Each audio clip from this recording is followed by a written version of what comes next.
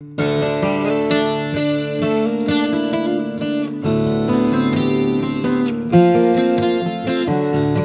welcome back. We're in the book of Exodus. We're at chapter 12, today verses 16 to 20.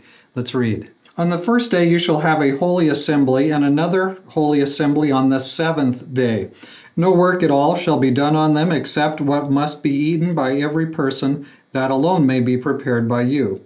You shall also observe the feast of unleavened bread, for on this very day I brought your hosts out of the land of Egypt. Therefore you shall observe this day throughout your generations as a permanent ordinance.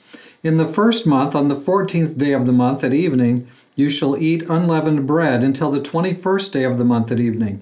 Seven days there shall be no leaven found in your houses, for whoever eats what is leavened, that person shall be cut off from the congregation of Israel whether he is an alien or a native of the land. You shall not eat anything leavened. In all your dwellings you shall eat unleavened bread. So the first and seventh day uh, of this feast are both to be holy days, holy assemblies, a kind of a kind of a Sabbath. And no work is to be done on those days except the minimum just to provide food for the family. I want you to notice also it says here that no Hebrew, not even any stranger in the gates, even a non Hebrew person, is to eat anything unleavened.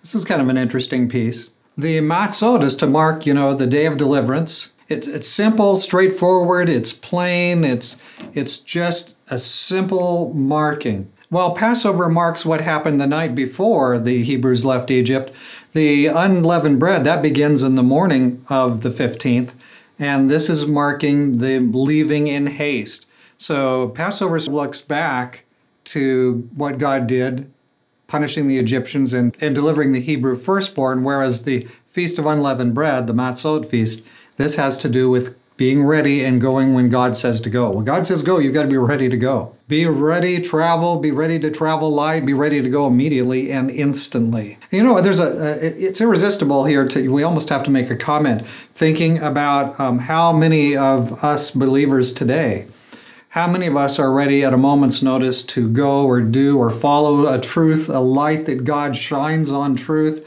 How many of us are ready for that? Because a lot of us are uh, instead of camping on a continuing journey toward the kingdom, a lot of us sort of have moved in. We've kind of moved into Egypt, and a lot of us aren't in any big hurry to leave. You know, the food is satisfactory, things are comfortable, and got a warm spot at night. Why would I leave Egypt?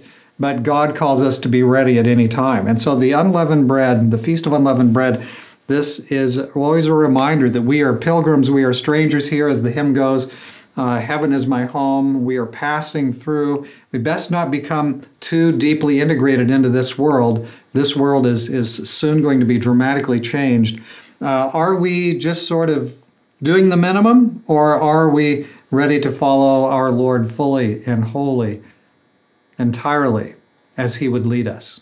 Uh, the answer to that question is going to have a lot to do with how much blessing and how much joy you and I experience as we follow the Lord God. So these events, the Passover and the Feast of Unleavened Bread, they are distinct commemorations. God condemns the oppressor and yet he shows mercy. And that's where the slaying of the Egyptians' firstborn and the preservation of the Hebrews' firstborn comes in. And God delivers the oppressed, who we might add, he delivers the oppressed who are willing to be delivered because sometimes we're comfortable in our oppression. We're comfortable being slaves. We're comfortable being a slave to our electronic overlords or government overlords today.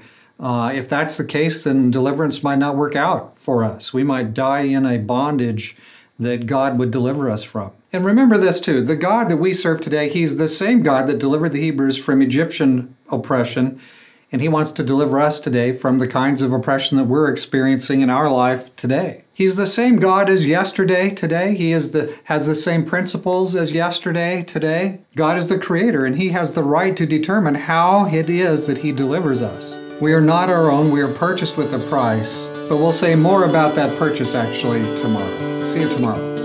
God bless you.